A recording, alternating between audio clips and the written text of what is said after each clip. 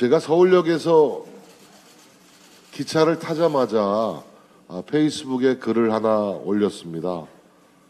아, 대구 경북은 우리 당의 뿌리이자 심장입니다. 위기의 순간마다 대구 경북은 우리 당이 기사 회생할 수 있는 마지막 보루였습니다. 우리가 내민 손을 뿌리친 적이 없었습니다.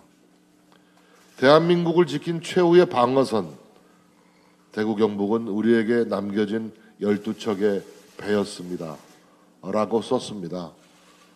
어, 다시 한번 대구 경북의 당원 동지 여러분들과 주민 여러분들께 고맙고 또 고맙다는 말씀을 꼭 대구 경북 현지에 와서 드리고 싶었습니다.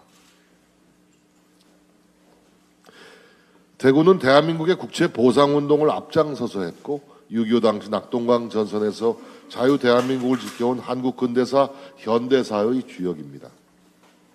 또 경북은 독립유공자와 스스로 목숨을 끊어 일제에 맞섰던 자정순국자를 가장 많이 배출한 독립운동의 성지입니다. 말씀드린 대로 대구 경북은 자랑스러운 대한민국을 만들어 온 국민의힘의 뿌리이자 심장과도 같은 곳입니다. 이번 정기국회와 국정감사 기간이라서 모두 바쁜 시간이지만 민생 회복과 정치 복원, 국민 신뢰 회복의 출발점이 될 수 있도록 저희 당이 앞장서서 뛸 것을 다짐드리겠습니다.